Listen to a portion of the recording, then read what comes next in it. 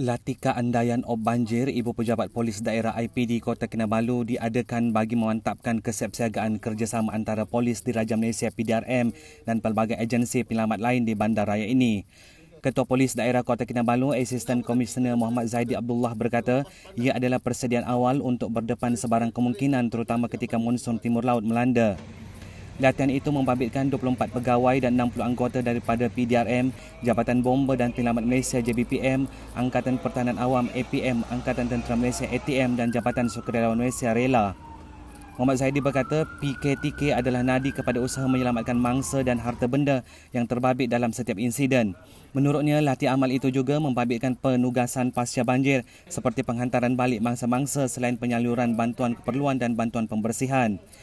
Kita mahu memantapkan pengurusan PKTK apabila berlaku bencana, OSPD, Ketua Polis Daerah selaku Komander Operasi Bencana yang dibantu oleh pegawai bomba daerah itu Timbalan Komando Operasi Bencana akan set up PKTK Pusat Pos Kawalan Tempat Kejadian untuk menyelaras uh, semua usaha-usaha menyelamat bangsa dan menjamin keselamatan harta benda awam.